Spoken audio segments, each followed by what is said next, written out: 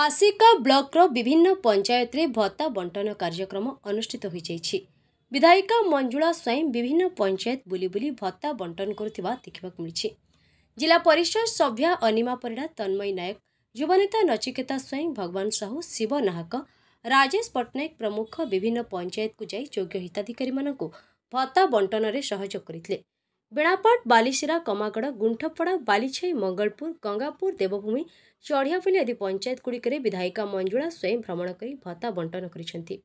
ଆସିକା ବ୍ଲକର ସମସ୍ତ ପଞ୍ଚାୟତରେ କ୍ରମାଗତ ଭାବେ ଏହି କାର୍ଯ୍ୟକ୍ରମ ଜାରି ରହିଥିବା ବେଳେ ହିତାଧିକାରୀମାନଙ୍କ ମଧ୍ୟରେ ଖୁସି ଥିବା ପରିଲକ୍ଷିତ ହୋଇଛି।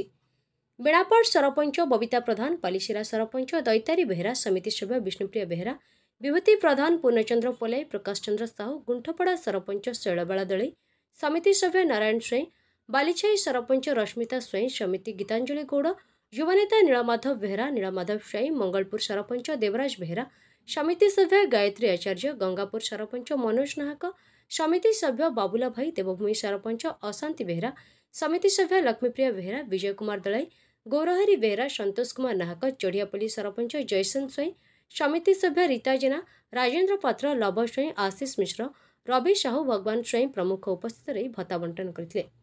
ତେବେ ଆଗାମୀ ଖୁବ୍ କମ୍ ଦିନ ମଧ୍ୟରେ ଆବେଦନ କରିଥିବା ଯୋଗ୍ୟ ହିତାଧିକାରୀମାନଙ୍କୁ ଭତ୍ତା ବଣ୍ଟନ କରାଯିବ ବୋଲି କହିଛନ୍ତି ବ୍ଲକ ଅଧ୍ୟକ୍ଷ ପ୍ରତିନିଧି ଶିବ ନାହକ ଆସ୍କାରୁ ଜ୍ୟୋତିର୍ମୟୀ ପାତ୍ରଙ୍କ ରିପୋର୍ଟ ଗଞ୍ଜାମ ସମାଚାର। ଗଞ୍ଜାମ ସମାଚାର। ଆପଣଙ୍କର ଲାଟେଷ୍ଟ ଖବର ପାଇଁ ଲାଇକ୍ ସେୟାର ସବସ୍କ୍ରାଇବ୍ ଏବଂ ଫଲୋ କରନ୍ତୁ।